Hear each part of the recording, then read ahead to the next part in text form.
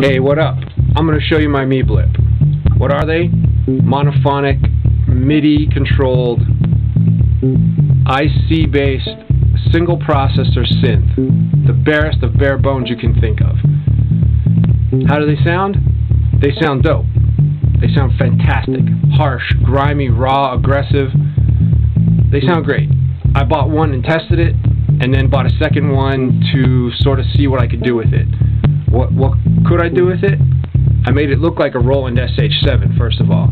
Then I added CV ins for every pot via eight summing amplifiers that sum up the voltages from the pot and from the CV in and put in over voltage protection so it can't go over its 5 volt power and burn out. So anyway, let's hear what it sounds like. So right now we have just a standard synth sound, abrasive, aggressive, sweep your filter, turn up your resonance, turn up your envelope. Know, it sounds good, what you would think. Okay, so let's add the mod. That's that's modifying the, the, the cutoff on the filter. The second one will modify the resonance.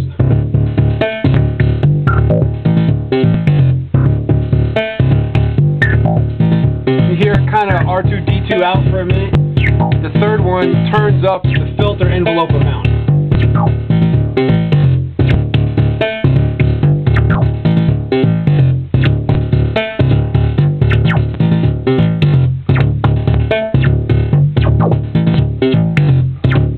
So you can put that in for any of the pots, and it makes it do some crazy things.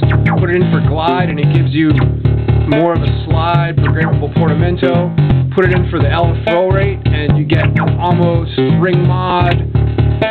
I don't know how to describe it, but it sounds really cool, and you should buy one.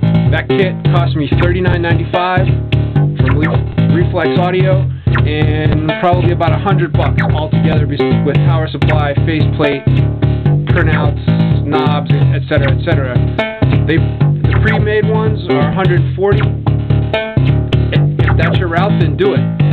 But if you feel like you want to try something, this is the one to try because if you blow it, you're not really wasting a lot of money. And if you pull it off, you're walking away with a nice sounding, usable machine. Thanks.